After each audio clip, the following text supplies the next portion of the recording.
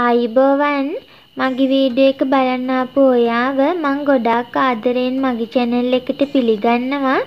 අද මම ඔයාලට ගොඩක්ම රසට ඒ වගේම ගොඩක් ගුණදායක විදිහට ගෝවා මල් හදන රෙසිපි එකක් තමයි අරගෙන ආවේ. ඉතින් අපි බලමු කොහොමද හදන්නේ මොන වගේ දේවල්ද අපිට ඕන වෙන්නේ කියලා. මුලින්ම අපිට ගෝවා මලක් ඕන වෙනවා. මං ග්‍රෑම් 300ක ගෝවා මලක් තමයි අරගෙන තියෙන්නේ. අපි මේක දැන් කපා ගන්න ඕනේ. මම මෙන්න මේ විදිහට තමයි ගෝවා මල සුද්ධ කරලා කපා ගන්නේ. ඔයාලා ගෝවා මල් ගන්නකොට ගෝවා මල සවුත් වෙලා නැති එකක් ගන්න. මොකද ගෝවා මල් පරණ වෙනකොට ගොඩක් පණුව හැදෙනවා. ඒ නිසා අලුත් එකක් ගන්න පරණ වුණාම තනින් තන දුඹුරු පාට වෙනවා. ඒ නිසා හොඳින් බලලා ඒ වගේ දුඹුරු පාට වෙච්ච නැති අලුත් ගෝවා මලක් අරගන්න.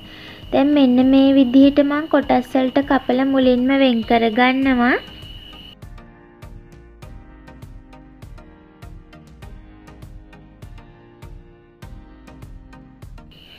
ඔන්න මං කපාගෙන ඉවරයි. මං දැන් කපාගත්ත ලොකු කෑලි මෙන්න මේ විදිහට ආයෙත් කඩා ගන්නවා. කඩලා අපි දැන් මේක සෝද ගන්න ඕනේ.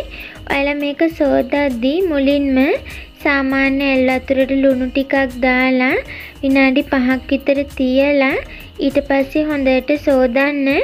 එතකොට පණුව ඉන්නවා නම් අයින් වෙනවා. හොඳට පිරිසිදු වෙලා සෝදගන්න පුළුවන්. ඒ නිසා ලුණු වතුරේ දාලා තියලා හොඳට සෝදගන්න. ඔන්න මං ගෝමල් ටික සෝදගෙන ආවා. දැන් අපි ගෝමල් ටික කපා ගමු.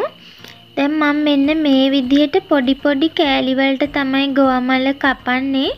මේ බලන්න පොඩියට මෙන්න මේ වගේ කපා ගන්න.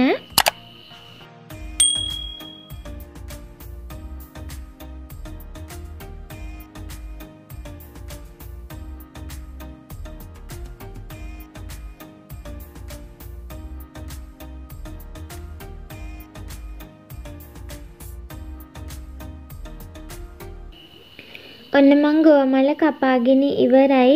මෙන්න මේ වගේ පොඩිවට කපා ගන්න. මේ බලන්නකො මෙන්න මේ ප්‍රමාණයට කපා ගන්න. අපි දැන් හදන්න පටන් ගමු. මුලින්ම තාච්චියක් ලිපේ තියලා ඒකට තෙල් පොඩි ප්‍රමාණයක් දාලා තෙල් ටික රත් කරගන්න.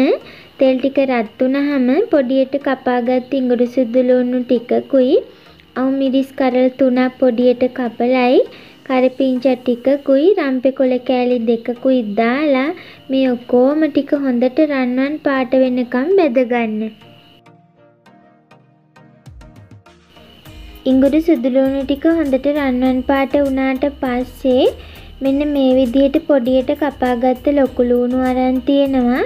මම ඒ ටික දානවා. ඒ වගේම පොඩි තක්කලි ගෙඩියකුත් කපලා අරන් තියෙනවා. ඒකත් දානවා. දාලා මේ ටික විනාඩි දෙකක් විතර හොඳට බැදෙනකන් තියාගන්නවා.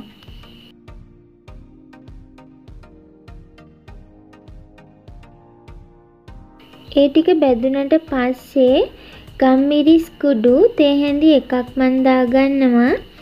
ඊළඟට කහ කුඩු තේ හැඳි භාගයකුත් දානවා. ඒ වගේම මිරිස් කුඩු තේ හැඳි එකකුත් දානවා. ඊළඟට මස්කරි පවුඩර් තේ හැඳි භාගයක් දානවා. ඒ වගේම මසාලා පවුඩර් තේ හැඳි භාගයකුත් දානවා. මේ මසාලා පවුඩර් හදන වීඩියෝ එකක් මම කලින් දාලා තියෙනවා. ඒක ඔයාලට බලන්න පුළුවන්. මම ලින්ක් එක වීඩියෝ එක පහළ ඩිස්ක්‍රිප්ෂන් බොක්ස් එකේ දාන්නම් ඒක බලලා හදාගන්න. දැන් මේ ඔක්කොම ටික දාලා හොඳට කලවම් කරමින් බෙදගන්න.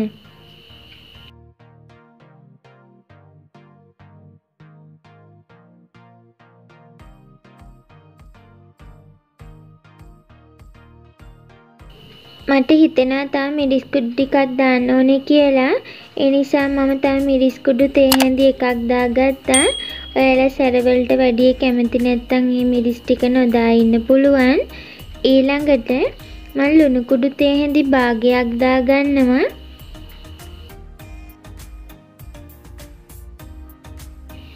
ලුණු දාගත්තට පස්සේ වතුර කෝප්ප එකක් දාන්න දාලා හොඳින් කලවම් කරලා අපි පොඩියට කපාගත්ත ගෝවමල් ටිකක් දාගන්න.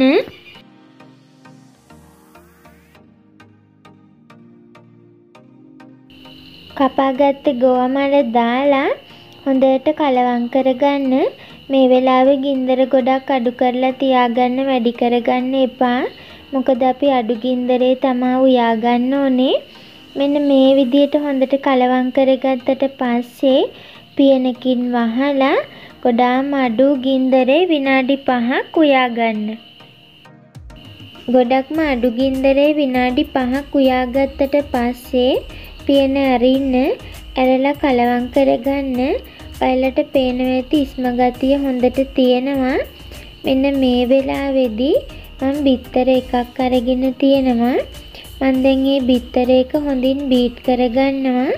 කෑරුප්පුවක් හරි හැන්දක් හරි අරගෙන බීට් කරන්න. බීට් කරලා අපි දැන් මේ ගෝවා එකට ඒක දාගමු. දාලා හොඳින් කලවම් කරගන්න. මේ වෙලාවේ ගින්දර ගොඩක් අඩු කරලම තියාගන්න. දැන් හොඳට ගෝමල් එක තැම්බිලයි තියෙන්නේ. හොඳට තැම්බුණාට පස්සේ තමයි අපි මේ බිත්තරේ එකතු කරන්න ඕනේ. හොඳින් තැම්බුණාට පස්සේ බිත්තරේ එකතු කරලා හොඳට කලවම් කරගන්න.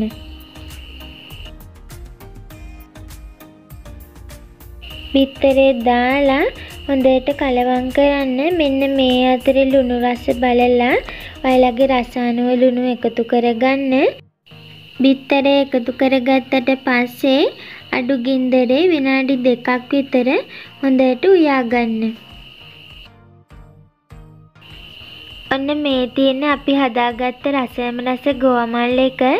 ඉතින් ඔයාලා අනිවාර්යයෙන්ම හදලා බලන්න. බත් එක්ක ඉන්දියාප් එක්ක පාන් පරාටා රොටි ඕනම එකක් එක්ක රසයට රස බලන්න පුළුවන්.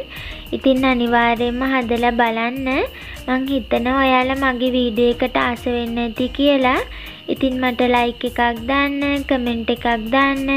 ඒ වගේම මගේ channel එක subscribe කරපු නැති කෙනෙක් නම් ඔයා දැන්ම subscribe කරන්න. මේ වගේ රසවත් වීඩියෝවකින් අපි නැවතත් හමු වෙමු.